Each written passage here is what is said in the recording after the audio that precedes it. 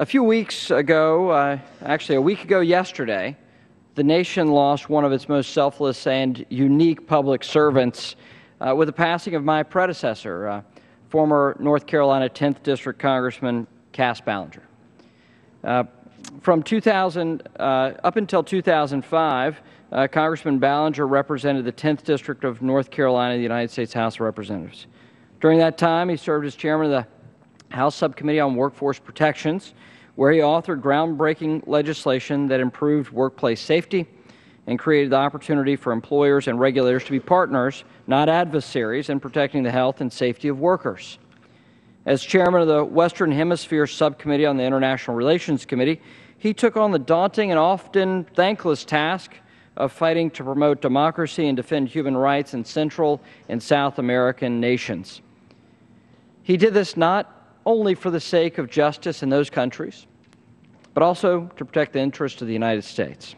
His personal commitment to serving his constituents is a legendary example that I strive every day to follow.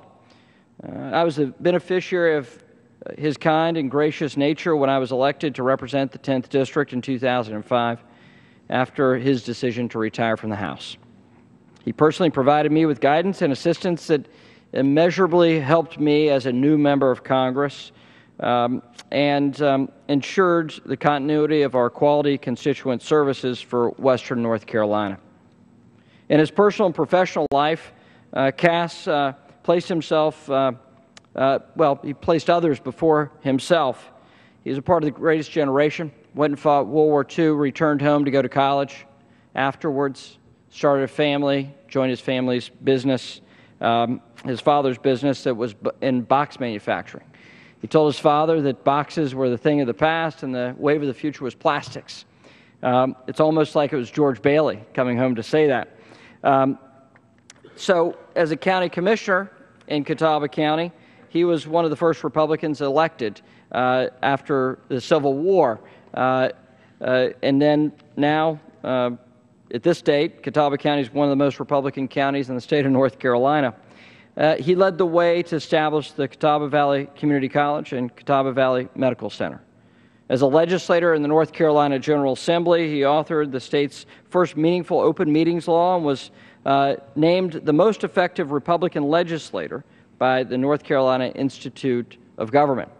It would take volumes to talk about uh, all of his phil philanthropic work uh, of uh, Congressman Ballenger and his wife Donna, uh, but they are responsible for countless schools, daycare centers, hospitals, and disaster responses in the United States and in Central and South America as well.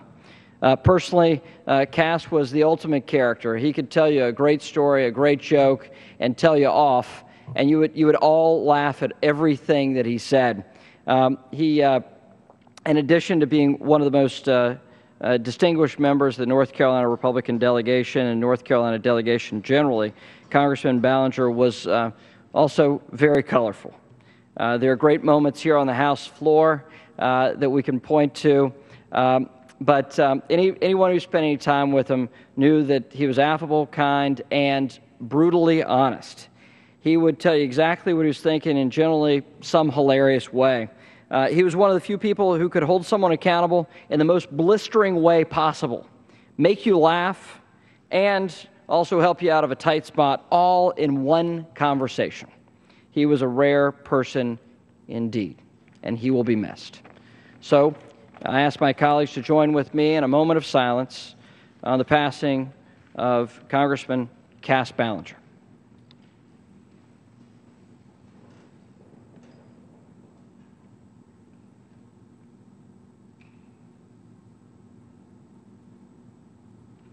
Thank you.